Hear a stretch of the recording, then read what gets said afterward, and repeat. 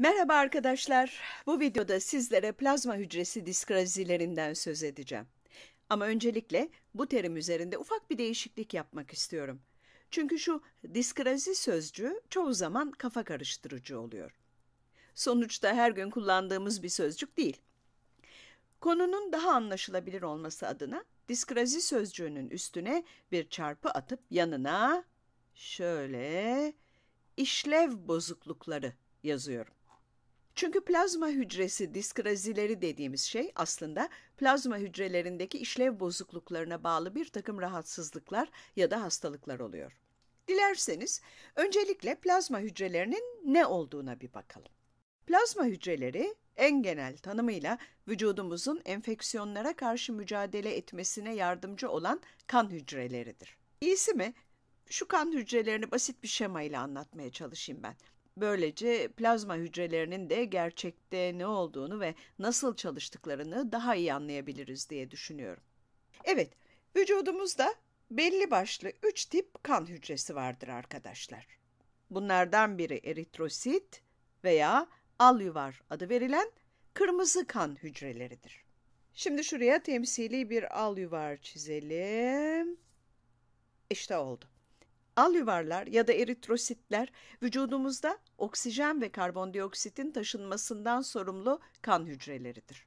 Dolaşım sistemimizdeki bir diğer kan hücresi tipi de platelet veya trombosit adı verilen pıhtı hücreleridir.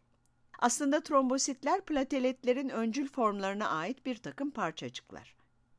Ama bu iki terim bazen birbirinin yerine kullanılabiliyor. Evet, o zaman onları da şöyle gösterelim.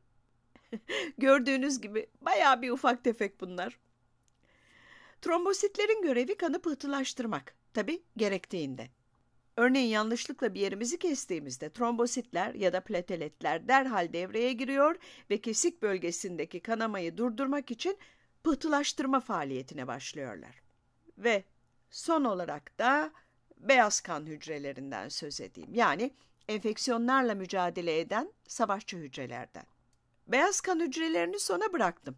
Çünkü bunlar öyle eritrosit ve trombositler gibi belli başlı işlevleriyle özdeşleşmiş, kendilerine özgü hücreler değil. Tam tersine farklı hücre tiplerini tek çatı altında toplayan kan hücreleri. Aküvar adıyla da bilinen bu beyaz kan hücrelerini kendi içlerinde iki kategoriye ayırabiliriz. O zaman da bu iki kategoriden ilki bazofil, nütrofil ve eozinofilleri içeren miyelositler. Diğeri ise T, B ve plazma hücrelerini içeren lenfositler olur. Şimdi bu iki grup beyaz kan hücresi arasındaki farkın ne olduğunu merak ediyor olabilirsiniz. Öyle ya, durduk yere niye böyle bir ayrım yaptık değil mi? Doğrusu bu ayrımın nedeni söz konusu hücrelerin enfeksiyonlarla mücadele biçimi. Örneğin non-spesifik olarak tanımlanan miyelositler tüm tehditler karşısında aynı tepkiyi verir. Seçici davranmaz. Bir yaralanma ya da potansiyel bir enfeksiyon durumunda yaralanma biçiminin ya da enfeksiyon türünün ne olduğu bu hücreler için önemli değildir. Koşullar farklı olsa da müdahale yöntemi aynıdır. Oysa adaptif veya spesifik olarak tanımlanan lenfositler bu konuda son derece titiz ve seçicidir. Şartlara ve tehdidin niteliğine göre hareket eder, strateji belirler, mikroplara karşı taktik bir mücadeleye girişirler. Dahası lenfositlerin hafızaları vardır. Bu sayede her savaşta yeni deneyimler edinir ve bilgi birikimlerini sonraki savaşlarda kullanırlar. Evet, sanırım artık plazma hücrelerinin ne olduğuna, ne işe yaradıklarına dair zihninizde az çok bir fikir oluşmuştur. Keza plazma hücresi diskrazisi denen şeyin bu hücrelerde ortaya çıkan işlev bozuklukları olduğunu da biliyoruz artık.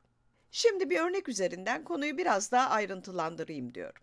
Ama önce tüm bu yazıp çizdiklerimi silip ekranda yer açmam gerekecek. Evet, işte oldu. Şimdi şöyle bir hayal edelim. Mutfaktayız, salata yapıyoruz. Radyoda da Sezen'in en sevdiğimiz şarkılarından biri çalıyor.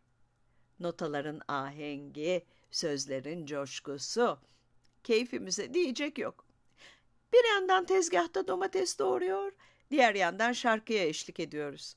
Tam da nakaratı gelmişken, kendimden kaçak, yarim keskin bıçak derken, o da ne? Birden, aniden şiddetli bir sızı. Elimiz kanıyor.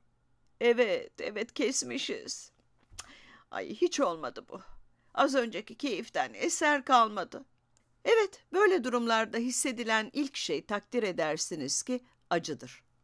Bıçağın dokuda oluşturduğu kesik derin olmasa bile can yakar.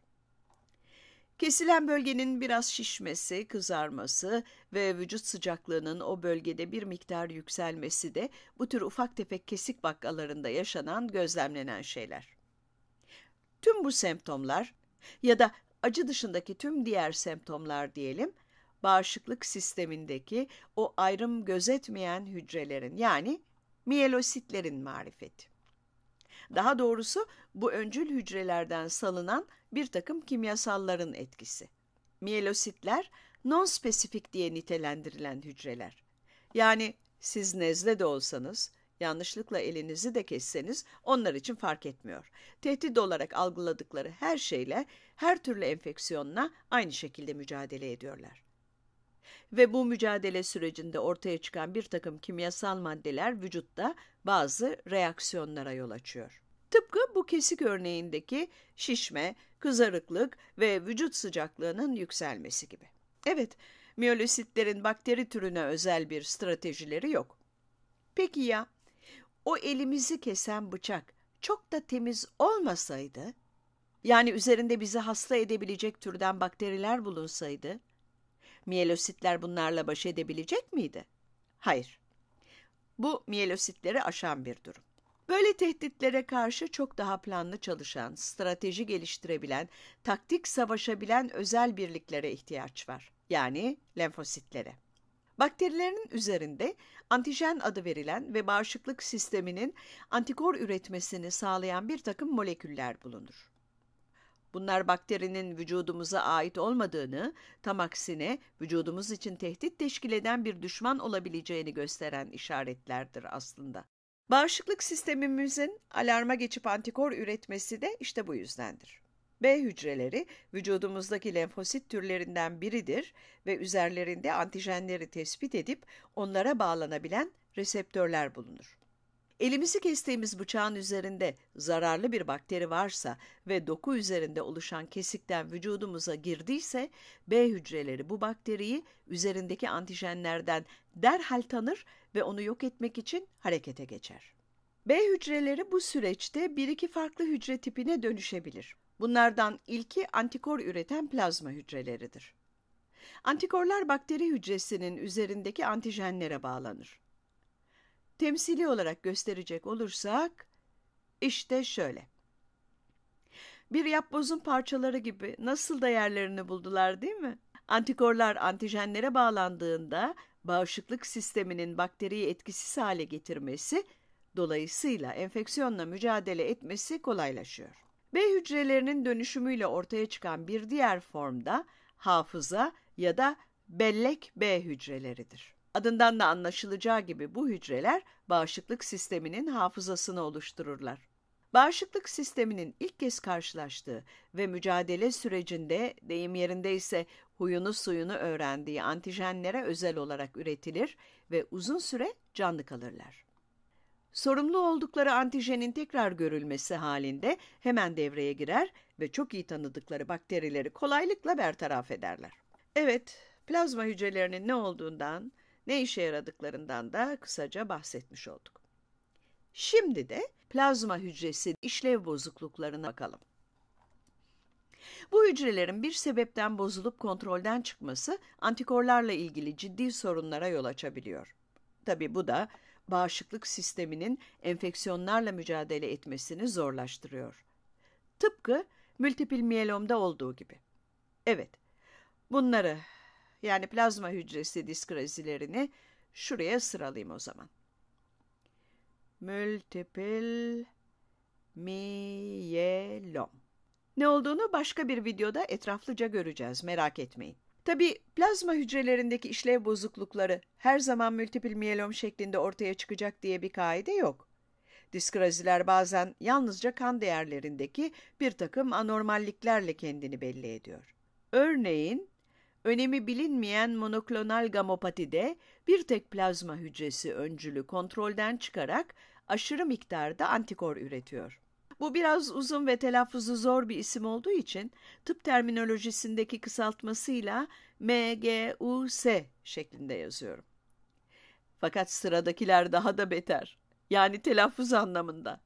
Waldenstrom makroglobulünemisi ve Langerhans hücreli histiyositos. Evet, tüm bu saydıklarım plazma hücresi diskrazisi olarak bilinen hastalıklar. Ve tabii her biri ayrı bir videonun konusu. Şimdilik bu kadar. Bu başlıkları taşıyan diğer videolara da göz atmayı unutmayın. Hoşçakalın.